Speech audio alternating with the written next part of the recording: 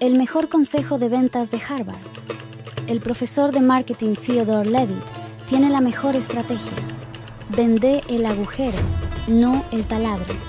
Quiere decir que las personas no compran un producto por sus características, sino por los beneficios que les da. Pensá en Gucci.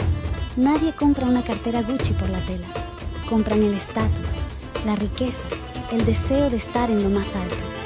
Si vendes tus productos así, conectas con los sueños de tus clientes y lo que realmente desean en la vida.